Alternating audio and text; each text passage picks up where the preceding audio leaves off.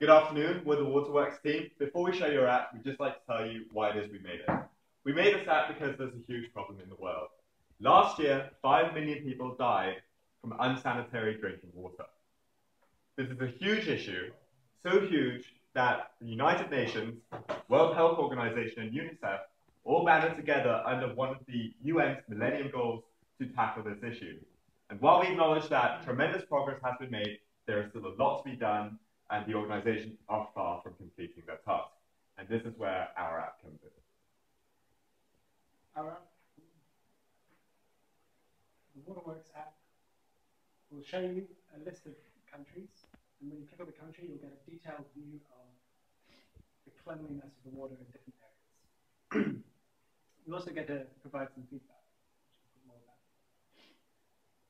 You can also see at the top there's a use my current location. We can use GPS to pinpoint your location properly. As you can see, United Kingdom. When you give feedback, we'll geotag that and we'll be able to use that in our own data set to improve our data. Um, one group that we think our app would also be very valuable for is tourists. Um, because you can imagine that when tourists go to a foreign country, they don't know whether it's safe to drink the tap water there or not. So they could use our app to find that out. And then they would hopefully also provide feedback about the water quality and location that they're at, um, which would be very helpful for us because um, the more people use our service and provide us with feedback, the more powerful it will get.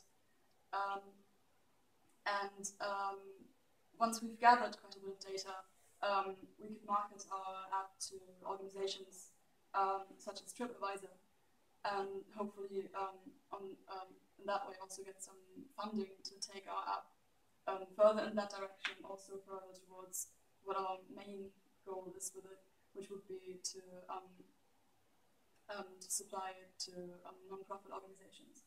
So once we've got our initial set of data, we can create other tools that, that hook into this data, specialist tools that people like scientists and researchers can use to take their data and add to our data so we get a, a group of shared knowledge.